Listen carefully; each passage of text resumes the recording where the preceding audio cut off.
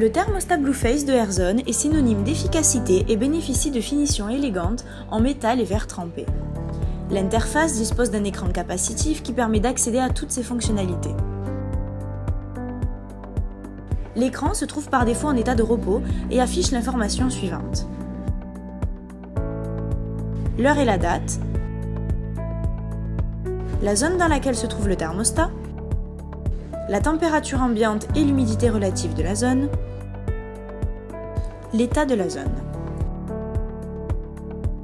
À partir d'un simple appui, nous accédons à l'écran principal à partir duquel il est possible de gérer le mode de fonctionnement, la fonctionnalité EcoAdapt, la température de consigne, les paramètres de configuration d'utilisateur, le contrôle de la climatisation, les programmations horaires, la consommation du système et les paramètres de configuration de la zone.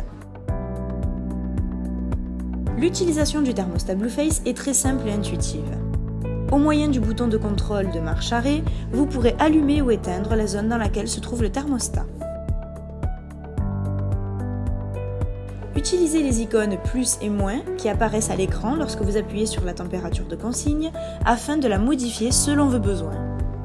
Le mode de fonctionnement peut être changé en appuyant sur l'icône correspondante et en choisissant le mode souhaité.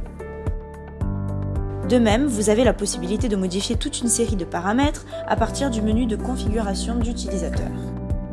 La langue et le pays,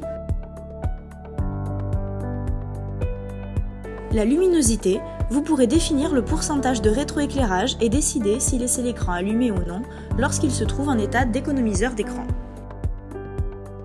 la date et l'heure, appuyez sur l'horloge pour régler l'heure et son format, 12 ou 24 heures.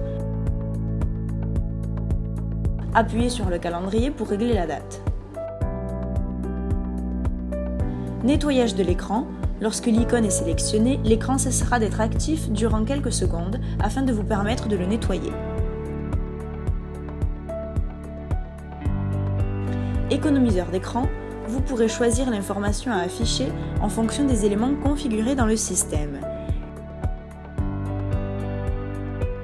Finalement, le paramètre d'information affichera les données relatives à la zone, le système, les dispositifs connectés au système, le web server et les notifications d'incidence du système.